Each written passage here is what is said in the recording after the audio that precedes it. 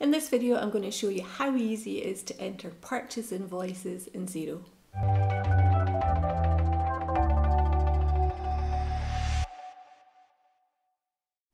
Okay, let me show you how to input your purchase invoices in Xero. In Xero, they're referred to as bills.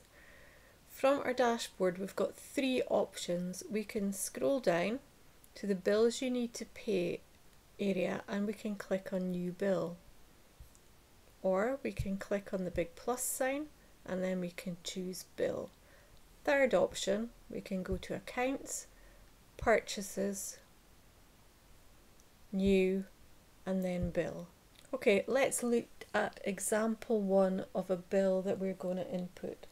We've got a bill here, it's from Colin the Computer Geek and it's for a £100 plus VAT.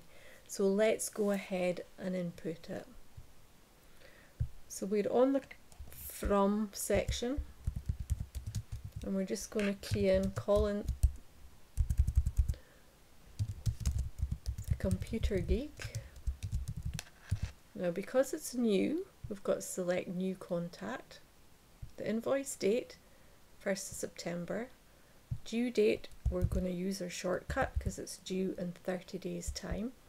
The invoice reference is 480 and the invoice value is £120.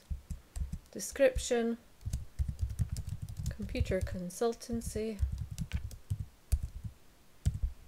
quantity 1, price 100, an accounts code. Let's look for if there's something that says IT. No, we don't want IT software and consumables. Let's see if there's a consultancy code. Consultant, we're happy with that. We're a VAT registered business and there's VAT on this invoice, so it's going to we're going to choose 20% VAT on expenses. Again, if you're not a VAT registered business, all your tax rate amounts would show as no VAT and you would input the invoice as £120. Once we're happy with what we've input, we can just have a quick check on the screen, Colin the Computer Geek. There's the date, the due date, the reference number, computer consultancy, where we have coded it, and we're just going to go straight to the green approve. If we went to the blue save, that would save it as draft and then we could review it later. But we're happy with this, so we're just going to go to approve. Now we're going to look at a second example, and this time we've got an invoice from Andy, the awesome accountant, and it's for £500 plus VAT. So let's go and input. From Andy, the awesome accountant. Date